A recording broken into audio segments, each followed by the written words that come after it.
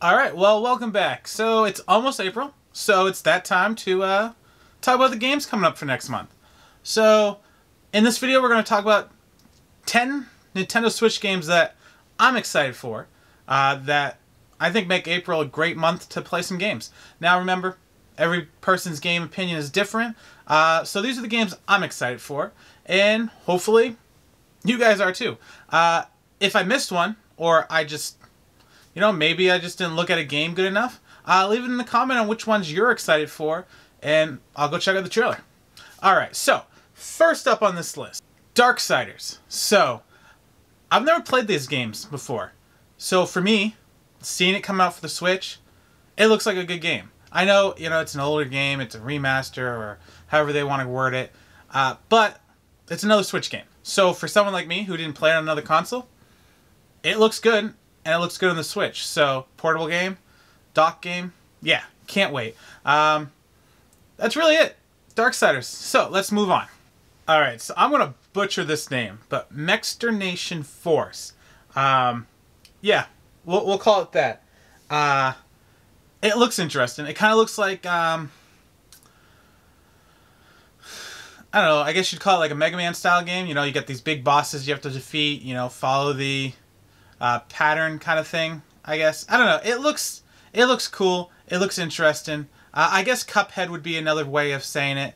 Uh, basically, it just looks like you battle these big box bosses and you just gotta survive until they die. Uh, it looks interesting. I don't know if I like it, but it looks interesting. So you know what? It's coming out in April and looks good. So yeah. All right, let's move on to number three. All right, so April twelfth, big day. Another Toy-Con comes out. So Nintendo's VR Labo kit comes out on that day. That's probably my biggest one for the month that I'm, I like. All right, second biggest one. We'll talk about the other one later. Uh, that looks interesting. That I really want to test out, and it's probably going to be a day one buy for me because I haven't bought any of the Labos yet. So I might as well try the one that interests me the most because I've been waiting to try Labo, but this time definitely gonna have to try it. So yeah, Nintendo Labo. I mean, all the mini games on there. I think it's going to look look be fun to play for short bursts. Yeah, will it be a long term game? Probably not, but it looks interesting. I'd like to see what Nintendo did. All right, so the next game on the list Final Fantasy 10 and 10 2 HD for the Switch. Having Final Fantasy games on the Switch, I love. Um, I'm a big Final Fantasy 8 fan. I played 10, beat 10, never played 10 2.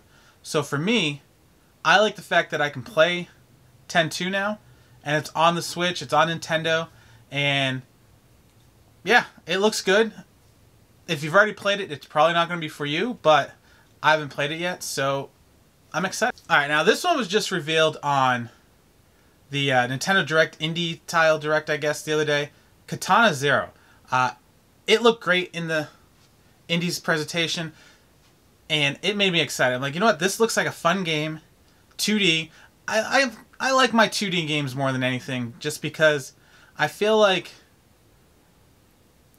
not simpler to play, but I don't know. I just get into them differently than I do in the 3D worlds. There's just something about it. I like sitting down and playing them more. So you know what? Katana Zero coming on the 16th. Can't wait. All right, now on the 18th. Um, this one's a big one for me. Cuphead. This is the one I'm more, most excited about. I said when I first saw this trailer, I'm like, if this game could ever come out on the Switch, I want to play it. How that ever happened, who knows? But now it's coming out. Really excited. It always looked fun. People always said great things about it, so I'm excited for that one. That's I want to get it on day one, but I'm thinking I'm going to wait to see if about a physical edition because I want it physically. The artwork I think will look great on a box, and so that's what I want. So yeah, Cuphead, probably the game of the month for me. Okay, so coming on the 23rd, Dragon Dogma Dark Arisen. Uh, that one looks like, you know, Oblivion to me. Like I've never played the game, but it reminds me of like Oblivion, Elder Scrolls, you know, games like that. It looks fun. I love my medieval games. So for me, that one looks like one I'm going to try just because, you know, I want to try to support the third party games so that way they come over more often.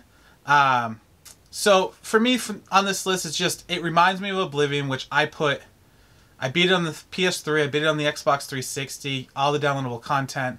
Uh, yeah, I put in probably 200 hours into that game easily, just getting lost and walking up mountains and picking up plants of all over. So you know what? Uh, this game kind of reminds me of something from that period that uh, I look ex- I look forward to and excited to play. So yes, Dragon Dogma. Okay, so let's move on. Last but not least, uh, there's two games coming out at the end of the month. Uh, Mortal Kombat 11. Okay, I'm kind of excited, but that's kind of my, you know, almost made the list. But the big one, not the big one, but the last one on the list that I really want to play. It seems simple, but it looks fun. Uh, Box Boy and Box Girl. Uh, it just looks like a great little puzzle game, and I love my puzzle games. So to me, it's a small little game, looking game, simple looking game, but it looks like it's gonna be fun. So that kind of rounds out the month for me. I feel like April has some great games that you know what? If you don't look at each month separately, games kind of get lost. So I'm glad I looked at uh, April's list, and there's tons of games to look at. So let me know, guys, what do you think that you're excited for? Uh, what games really stuck out to you? And what games did I leave off the list that I probably should take a look at? All right, everybody, have a good night, keep on gaming, and I'll catch you next time.